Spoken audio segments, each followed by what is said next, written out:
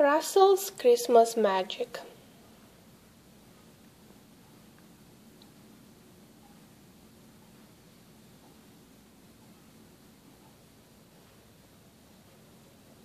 It was the night before Christmas in Frogsbottom Field. Not a creature was stirring.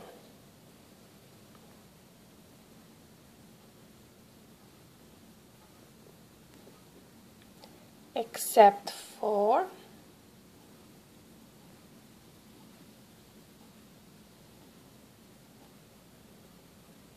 Russell. As he was hanging the very last lantern on the old tree, a shooting star caught his eye.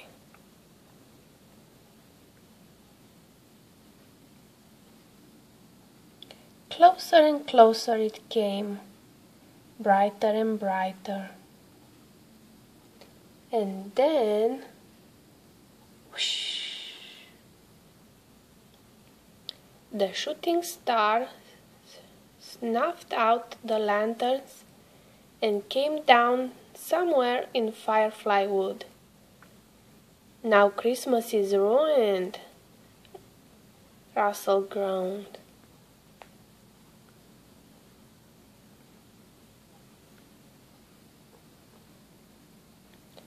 And he trudged off to investigate.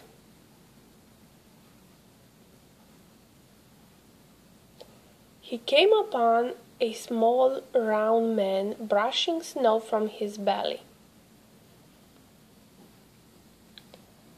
Santa! Russell exclaimed.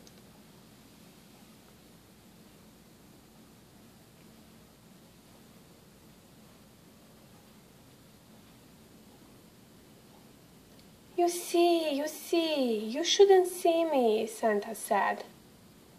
The sleigh's broken, and so is the Christmas bell.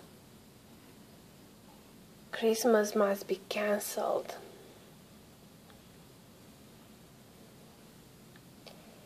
The sleigh was beyond repair.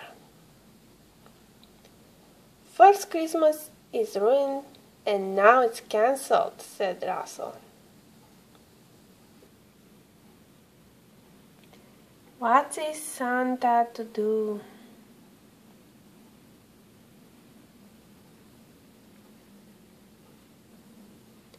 An idea bounced around in Russell's head and settled on his head.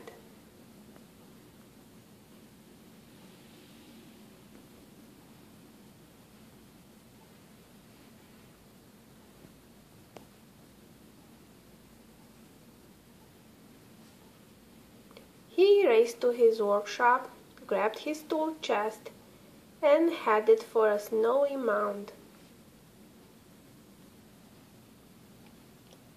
Russell dug and dug and dug until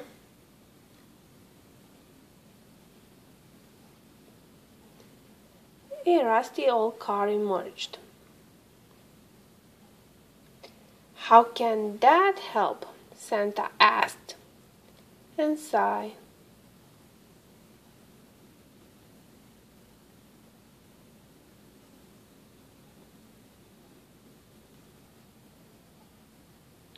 So Russell welded this part to that.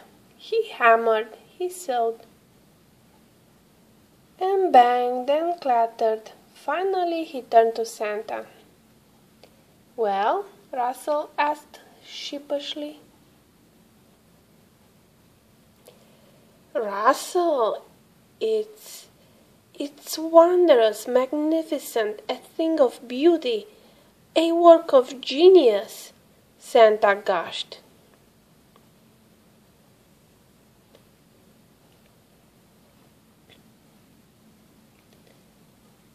Will it work?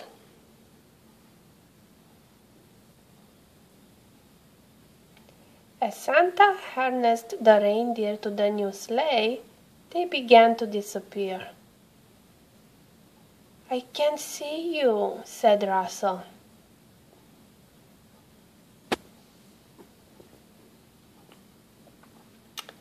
You see, you see, you can't see me. The sleigh's fixed, and so is the Christmas bells, cried Santa. Christmas is uncancelled.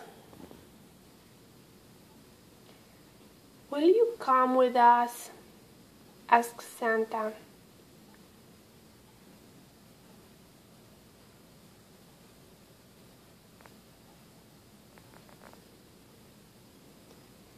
Will we be gone for long? asked Russell. For the blink of an eye, he replied. Russell fell for the sleigh and climbed aboard. I can see you again, he said to Santa. Of course, now you're part of the Christmas bell, cried Santa. Now Dasher, now Dancer, now Prancer and Vixen.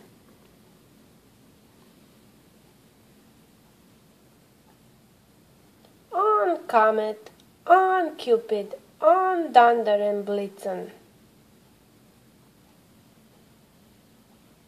Up, up, higher and higher they flew. And across land Across ocean they sped.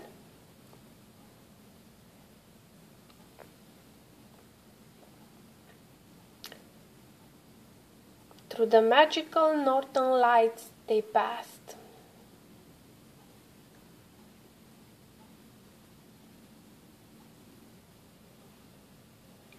They visited all the children of the world and left presents for each and every one.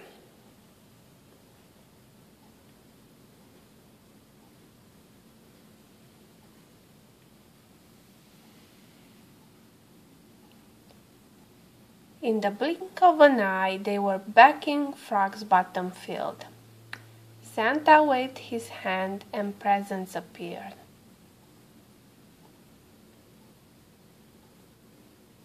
Santa gave Russell the very last present.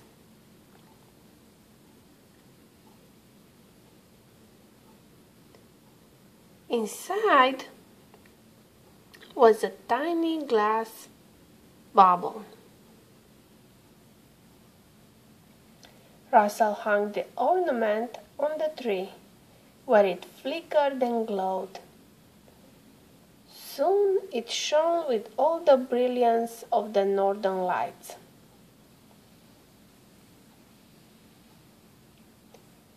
It's a little bit of Christmas spell, just for you, said Santa. And now it's time, it's time to go.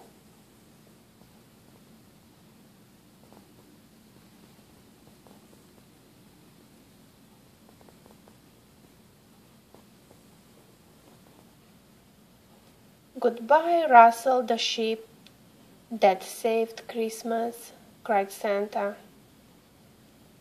And Merry Christmas to you.